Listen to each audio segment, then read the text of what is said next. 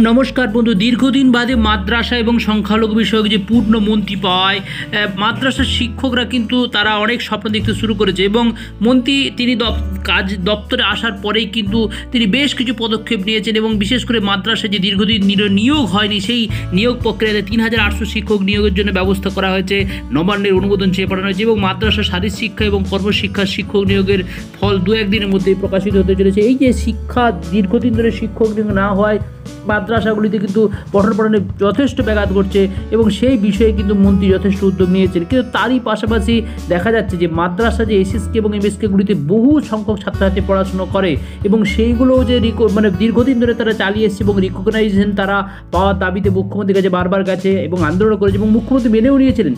দেখতে পাচ্ছেন যে রাজ্যের সমস্ত মাদ্রাসা শিক্ষাকেন্দ্রগুলিকে পর্ষদের আওতায় আনা হবে, এইটা কিন্তু উত্তরকন্যা মুখ্যমন্ত্রী ক্যাবিনেটে সিদ্ধান্ত গ্রহণ করেছিলেন এবং ঘোষণাও করে দিয়েছিলেন। কিন্তু তারপরে কোনো এক অজ্ঞাত কারণে কিন্তু মাদ্রাসা যিনি প্রতিমন্ত্রী ছিলেন গিয়াসুদ্দিন মোল্লা তৎপরতা কিন্তু সেভাবে করতে পারেননি। তার ফলে এই ধরনের শিক্ষকরা বা এই ধরনের প্রতিষ্ঠানগুলি কিন্তু মাদ্রাসা পর্ষদের আওতায় আসেনি। মাত্র ছশো কয়েকটি প্রতিষ্ঠান নিয়ে বোর্ড চলছে। এই চারশো পঁচাত্তরটি বা পঁচানব্বইটি মাদ্রাসা শিক্ষাকেন্দ্র যদি বোর্ডের অন্তরে অন্তর্ভুক্ত হয়, তাহলে কিন্তু এই বোর্ডেরও বৃদ্ধি ঘটবে। সেই বিষয়টাই কিন্তু বারবার ধরে গিয়াসুদ্দিন মোল্লাকে বোঝানোর পর তিনি কিন্তু কিছুই দরবার করতে পারেননি। তাই নতুন মন্ত্রী আসার পরও তার কাছে বিভিন্ন সংগঠন ছুটে গেছেন এবং বিভিন্নভাবে বোঝানোর চেষ্টা করেছেন। কিন্তু সে বিষয়ে দেখা গেছে যে তিনি পর্ষদের আওতায় আনার বিষয়ে কিন্তু এখনও পর্যন্ত সবুজ সংকেত বা কোনো কিছু বলে বলেননি বা শিক্ষক নেতৃত্বদের। এবং আরেকটা বিষয়, তিনি এমএসকেসএসকেগুলি প্রতিষ্ঠানগুলিতে বহু সমস্যা, অর্থাৎ শিক্ষক নেই, অনেক শিক্ষক রিটায়ারমেন্ট হয়ে চলে গেছে, অনেকে চাকরি পেয়ে চলে গেছে, ছেড়ে দিয়েছে, তাই সেই প্রতিষ্ঠানগুলি কিন্তু অচল হয়ে যাবে। অথচ গ্রামগঞ্জের এই প্রতিষ্ঠানগুলিকে মানে বহু ছাত্রছাত্রী সেখানে পড়াশোনা করে।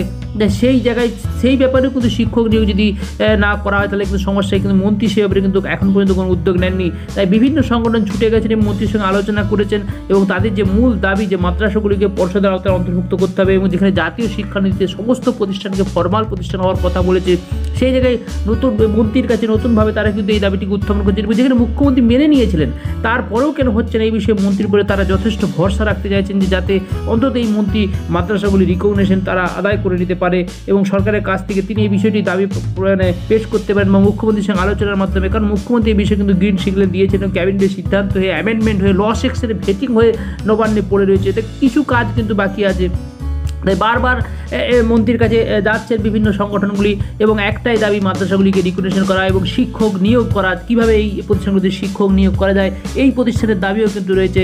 এবং তাছাড়াও যে থ্রি পার্সেন্ট তিন লক্ষ টাকা রিটায়ারমেন্ট ভেট সকলের হয়ে গেল মাদ্রাসার কিন্তু ফাইল বহুদিন গেছে।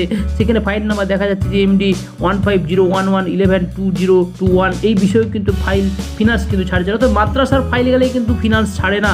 অনেকভাবে আটকে রেখে দেয়। সেক্ষেত্রে মন্ত্রীর দৃষ্টি আকর্ষণের চেষ্টা করছেন এই ফাইল নম্বরে দেখা যাচ্ছে। অর্থাৎ নবান্নে কিন্তু দেখা যাচ্ছে যে আধিকারিকদেরও সেরকম তৎপরতা নেই বিভিন্ন বিষয় নিয়ে। মাদ্রাসার শিক্ষকরা হয়, সময় মতো বোনাস পায় না। মাদ্রাসার শিক্ষকদের থ্রি পার্সেন্ট তিন লক্ষ টাকা রিটায়ারমেন্ট বেট সকলের মুখ্যমন্ত্রী ঘোষণার পর হয়ে গেল। মাদ্রাসার শিক্ষকদের হয় না। মুখ্যমন্ত্রী ঘোষণা করার পরে বোর্ডে রিকগনিশন হচ্ছে না এবং এই প্রতিষ্ঠানগুলি ঢুকছে শিক্ষকের অভাবে শিক্ষক নিয়োগের কোনো ব্যবস্থা করা হচ্ছে না। এই বিভিন্ন সমস্যা, নানাবিধ সমস্যা এবং এই ধরনের শিক্ষকদের ভবিষ্যতের কোনো নিরাপত্তা নেই। এমনকি ইপিএফ পর্যন্ত চালু হচ্ছে না। যে বিষয়টা হওয়া খুবই জরুরি। তাই এই প্রতিষ্ঠান, এই বিষয়গুলি নিয়ে কিন্তু বিভিন্ন সংগঠনগুলি মন্ত্রীর কাছে আশা করছেন যে মন্ত্রী অবশ্যই এই বিষয়ে পদক্ষেপ নেবেন। এবং এই- ভিডিও বার্তার মাধ্যমে মন্ত্রীর কাছে আবেদন জানানো হচ্ছে যে, অবশ্যই মাদ্রাসা পূর্ণ মাদ্রাসাগুলির সাথে সাথে এই ধরনের বেশ কেসেসকে যে মাদ্রাসাগুলি আছে। অনেক সমস্যা দীর্ঘদিন ধরে সংখ্যালঘু প্রতিমন্ত্রী সেভাবে কিছুই করে উঠতে পারেনি তার কাছে অনেক প্রত্যাশা রয়েছে। অবশ্যই তিনি প্রত্যাশাগুলি পূরণ করবেন এবং ব্যবস্থা নেবেন প্রতিষ্ঠানগুলি বাঁচাবেন। দেখা যাক আগামী দিনে কী হয় দেখতে থাকুন টুদ নিউজ। নমস্কার, ধন্যবাদ। চ্যানেলটি অবশ্যই সাবস্ক্রাইব করুন।